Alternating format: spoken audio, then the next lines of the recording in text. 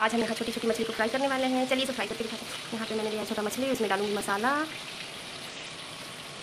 अब डालूँगी इसमें हल्दी, नमक। सारे मसाले नमक डालने के बाद इसे हम अपने हाथों से इस तरह, हल्के हाथों से मिक्स कर लेंगे। अपने हाथों की मदद से मैंने इसे अच्छी तरीके से मिक्स कर लिया है। अब मैंने यहाँ पर लिया है कढ़ाई, इसमें डाला है सरसों का तेल। सरसों सरसों का तेल में ही मछली अच्छा बनता है। अब इसे मैंने अच्छी तरीके से गर्म कर दिया है। अब इसमें मछली की फ्लेम को आपको हाई रखना है मीडियम नहीं करनी है और आप इसे एक बार में ना डालें। अच्छी तरीके से फ्राई नहीं होगी मैंने। इसमें आधा अब इसे हम पलट कर देख लेंगे अच्छी तरीके से फ्राई होने के कारण इसे पलटने में हमें परेशानी नहीं हुई। और दूसरी बीच बीच में आप इसे उथल पुथल करके देखते रहें। जल तो नहीं लग रहा है।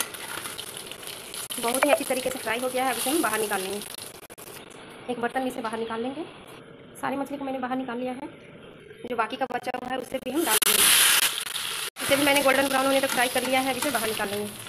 सारी मछली को मैंने बहुत ही अच्छी तरीके से फ्राई कर लिया है, एकदम कुरकुरे टाइप का। अब इसकी ग्रेवी नहीं लगानी है, छोटी मछली ऐसे ही खाने में अच्छी लगती है।